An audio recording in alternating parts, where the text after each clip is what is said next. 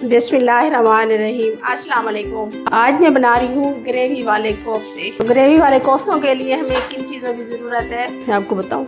आधा kilo chicken का कीमा हमने ले लिया है। आधा कप हमने लिया है बेसन का और बेसन तवे के ऊपर मैंने इसे भून लिया है। हरी मिर्चें ली है। पीस ली है मैंने दर्द सी। और उसके बाद हो गया ये अदरक लहसुन का पेस्ट, दो चम्मच।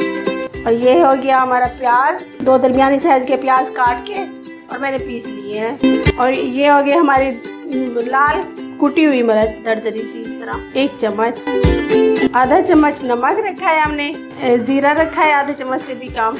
आप नमक अपने जैके के मुताबिक भी इसमें ऐड कर सकते हैं। ये कोफ्ता मसाला हो गया, नेशनल वालों का।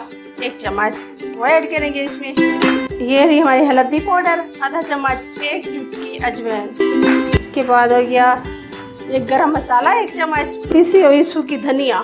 ये चीज़ें ये जो है ना, सारे मसाले हम इसे साइड में कर लेंगे। एक बड़ा बाउल बर्तन, और उसमें ऐड करेंगे सबसे पहले कीमा। अब हम इसमें ऐड करेंगे अदरक, लहसुन का पेस्ट दो चम्मच। अब हम अपने कीमे में करेंगे गरम मसाला पाउडर और धनिया, सूखे धनिया का पाउडर एक एक चम्मच ऐड करेंगे इसमें। अब ये हो गया हमारे लाल कुटी हुई मरद। दरदरी सी एक चम्मच वो ऐड करेंगे इसमें, कीमे में। और आधा चम्मच नमक और एक चुटकी ज़ीरा पाउडर। मैं ऐसे साबुन ऐड कर रही हूँ, आप इसे पीस के भी ऐड कर सकते हैं। अब ये चीज़ें आप अपने कीमे में ऐड करेंगे। और ये हो गया हल्दी पाउडर।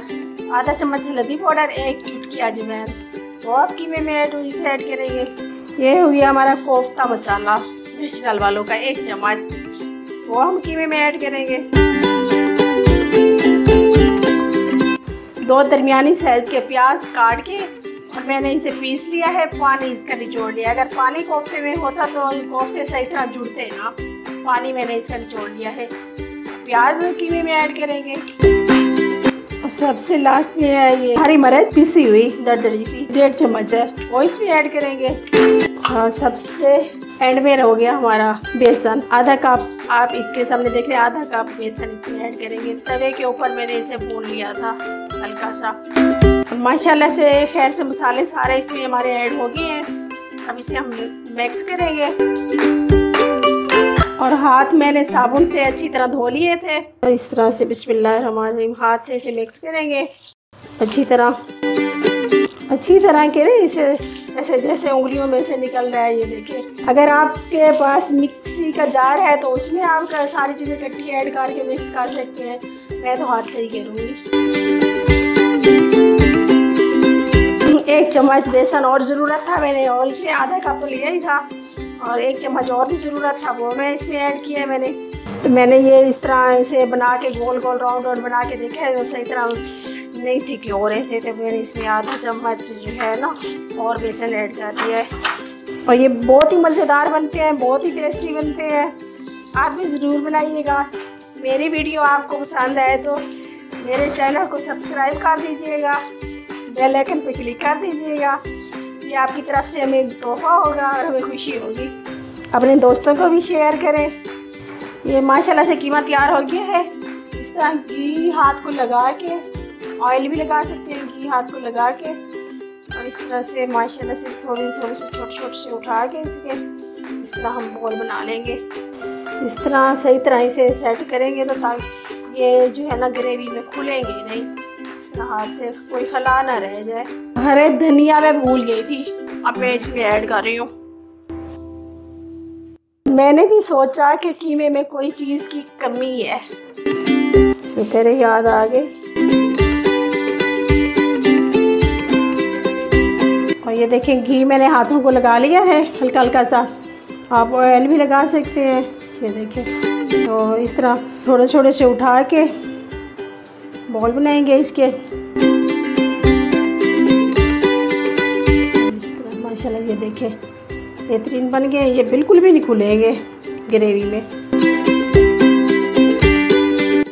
और इसी तरह मैं सारे बना लूँगी।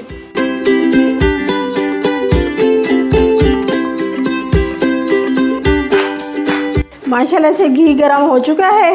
ये देखें, माशाल्लाह से इस तरह मैंने बना लिए थे राउंड राउंड से। सारे ही बन गए हैं और मैंने इसे 15 मिनट के लिए फ्रिज में रख दिए थे। अब मैं इसे फ्राई करने जा रही हूँ।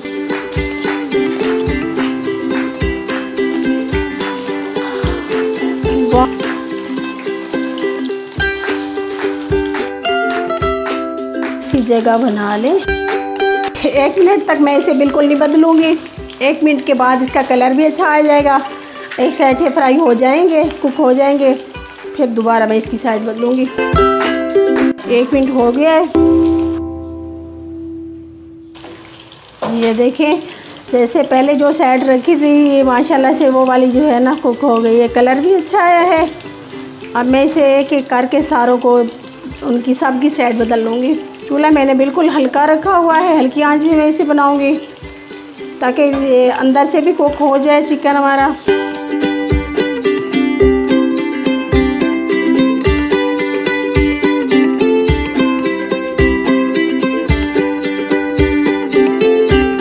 ये देखिए, माशाल्लाह से मैंने इस तरह से सबकी साइड बदल ली है और इस तरह हल्के से हाथ से बिल्कुल प्यार प्यार से जो है ना मैं इसे चम्मच चलाऊँगी ताकि ये जो है ना चारों तरफ़ ही फ्राई हो जाए।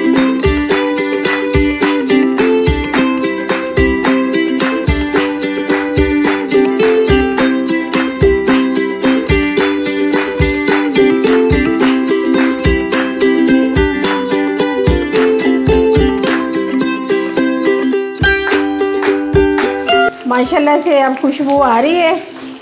अच्छी तरह जो है ना कुक तकरीबन हो चुके हैं। दो से तीन मिनट मैं इससे और दूँगी, ताकि मज़ीद कलर इसका अच्छा आ जाए, कोफ्तों का, और अंदर से पक भी जाए।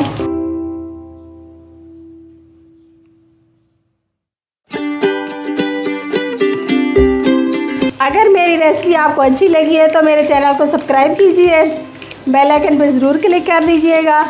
और ऑल के बटन को क्लिक ज़रूर कीजिएगा। ये आपकी तरफ़ से हमें तोहफ़ा होगा, हमें खुशी होगी। आप हमारे चैनल में नए आए हैं तो नहीं सब्सक्राइब किया तो प्लीज़ कर दीजिए। ये देखें माशाल्लाह से फ्राई हो गए हैं।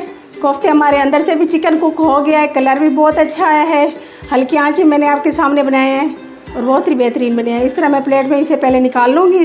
माशाल्लाह से घी हमारा गर्म हो चुका है। और सबसे पहले इसमें ऐड करेंगे अदरक, लहसुन, प्याज और तीनों का इकट्ठा पेस्ट हमने बना लिया है, पीस लिए हैं दरदरे से।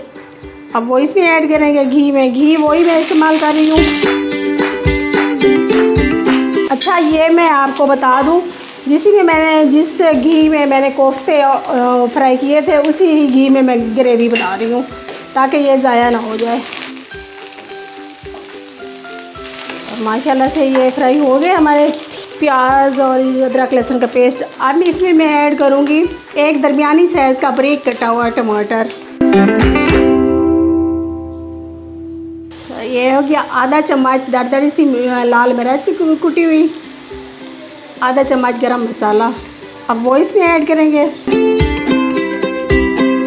आधा चम्मच धनिया पाउडर और आधे चम्मच से भी थोड़ी सी काम हल्दी पाउडर और आधा चम्मच नमक। अब वो इस मसाले में ऐड करेंगे हम। और ये हो गया कोफ्ते वाला मसाला। एक चम्मच वो इसमें ऐड करेंगे। और इसे हल्का सा फ्राई करेंगे मसाले सारे को।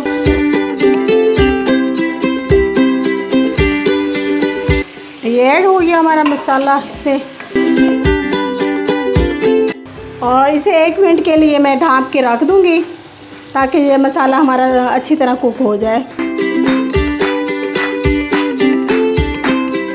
एक मिनट हो गया है। और देखते हैं मसाले हमारे के क्या कंडीशन है। नरम हो गया मसाला, खैर से। हल्की सी नमी है अभी इसमें। थोड़ा सा टाइम इसे हम और फ्राई कर लेंगे।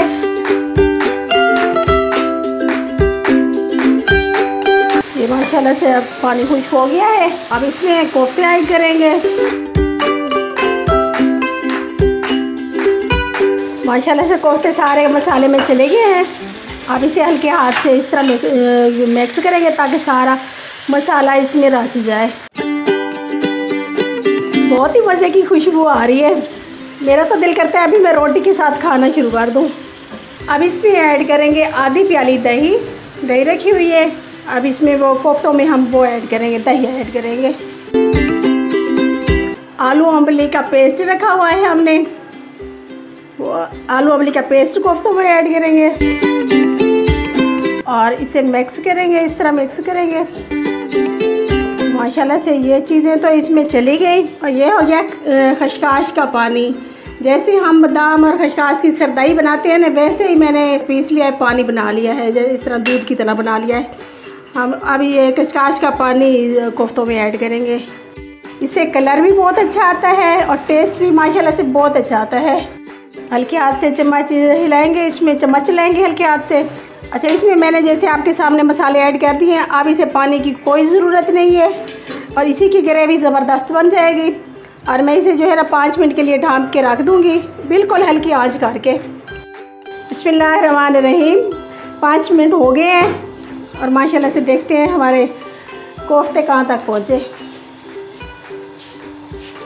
वाह माशाल्लाह से अच्छी ग्रेवी आई है।